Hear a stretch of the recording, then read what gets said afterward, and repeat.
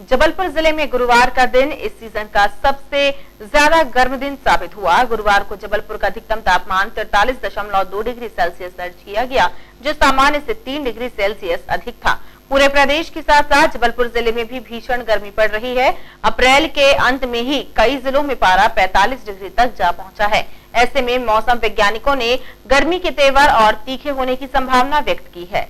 मध्य प्रदेश में पड़ रही भीषण गर्मी के तेवर आने वाले दिनों में और भी तीखे होने वाले हैं। गुरुवार को जबलपुर का अधिकतम तापमान तिरतालीस दशमलव दो डिग्री सेल्सियस तक पहुँचा।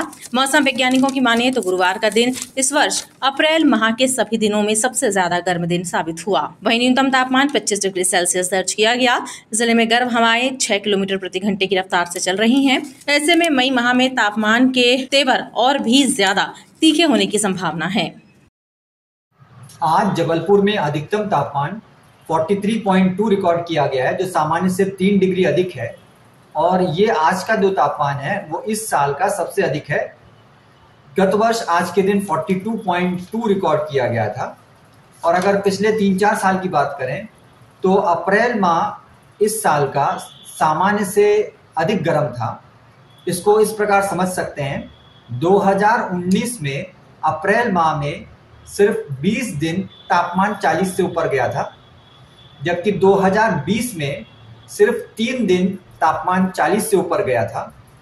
2021 में आठ दिन तापमान 40 से ऊपर गया, लेकिन इस साल 28 दिनों में से 27 दिन तापमान 40 से ऊपर गया अप्रैल माह इस माह अब तक जबलपुर में अधिकतम तापमान 40 डिग्री सेल्सियस के पार ही बना रहा। अब जब पारा 43 डिग्री तक जा पहुँचा है तो आम जनजीवन भी प्रभावित हो रहा है। तेज धूप और गर्म हवाओं की वजह से लोग हलाकान हो रहे हैं।